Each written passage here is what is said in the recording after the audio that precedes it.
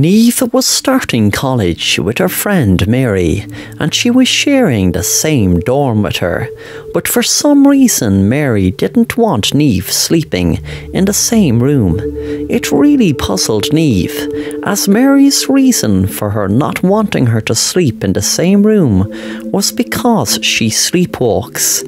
And she explained if she slept in the same room, she would end up dead.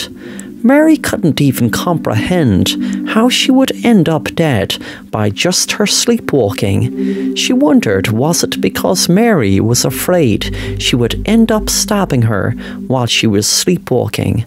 But Mary said she didn't know, she just knew that if she did sleep there, then they would both end up dead. Neve had reluctantly decided to sleep next door, but before Mary came back from class one day, Neve snuck under Mary's bed to see would she sleepwalk. She felt tired as nothing was happening, nothing at all. But then all of a sudden, she could hear something. It was Mary, and she began to sleepwalk. Neve followed her slowly, and she opened her door and walked down the hall. There was no one else around, as it was in the middle of the night.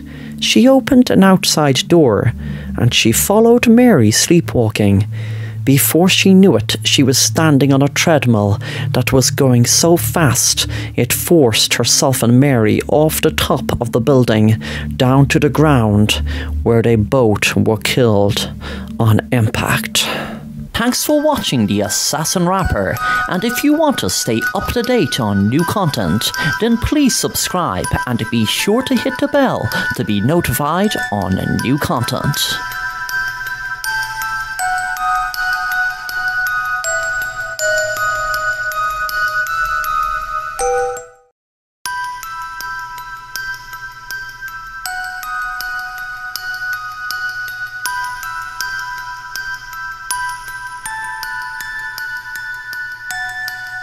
Michael was trapped in a world that he knew he had to leave. It wasn't exactly a frightening, threatening world, but he knew it would be on the 666th day.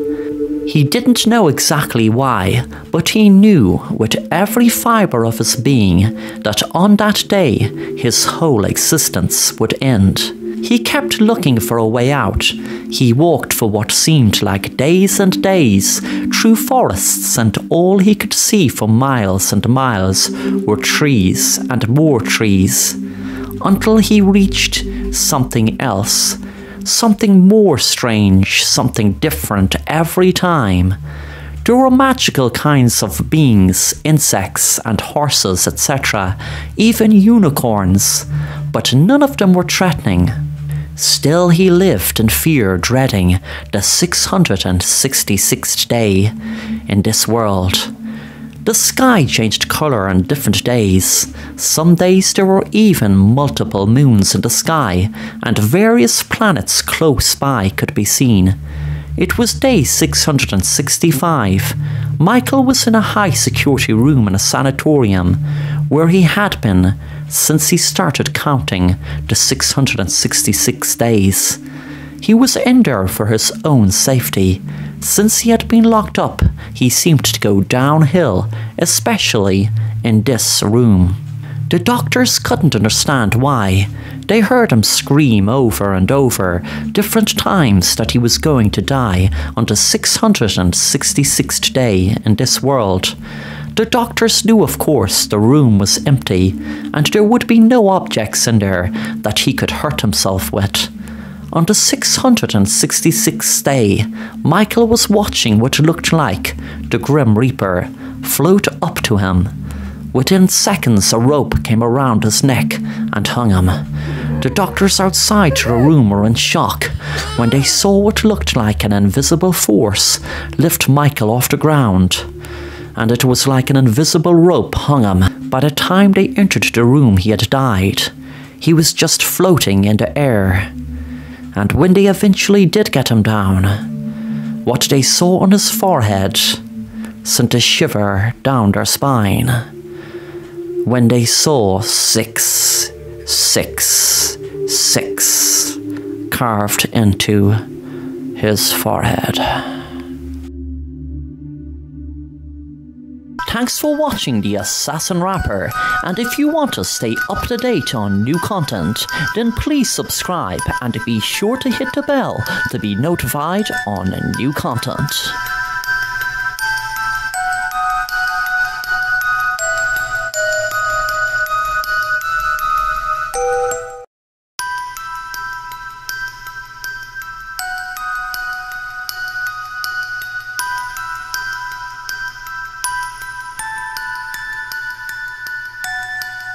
Hello, my name is Martin. Me and my wife just got married. We just bought a beautiful house. I have everything in my life going good for me, besides one thing, and that is my sleep paralysis demon.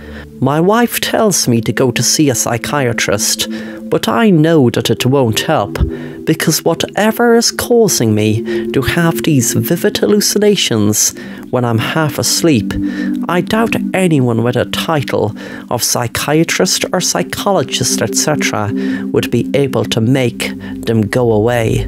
Each night I go to sleep, I can't move, and before I know it, I see the demon hovering over me, as if he is really there with me, hovering over me in my bed. It is so realistic. One night I just had to put my mind to rest, to at least me see nothing was really happening besides what's in my head. I didn't tell my wife because she would just say it's more of my paranoia. What I did was set up a hidden camera and filmed myself sleeping. I set it up to only record when there was movement, so when I watched it the next day, it only took a couple of minutes. I didn't have to watch hours of footage to look for something strange. But when I did see something, something more than strange, I couldn't believe my eyes. When I saw someone in black inject something into my arm and then go over me in the bed with a mask, I was looking forward to tell my wife that I wasn't paranoid. I couldn't wait till she came home. When I told her she couldn't believe it, she told me wait in the room while she checked the rest of the house in case anyone was around, and then she would call the police. When she went out, something didn't feel right, so I followed her and heard my wife say on the phone, That stupid bastard recorded himself sleeping. He knows he is set up. She has explained everything to me, and now I am stuck in this room with only a pen and a pad for company, and I am writing this letter in case someday someone finds it. I am hungry, and she is not going to let me out. Oh, I forgot to tell you. What is the reason she's doing this, and why she's doing it? It is because she's got another man that she wanted to drive me mad, to drive me away from my home, to him move in, to me be locked up in an asylum while she was living such a great life.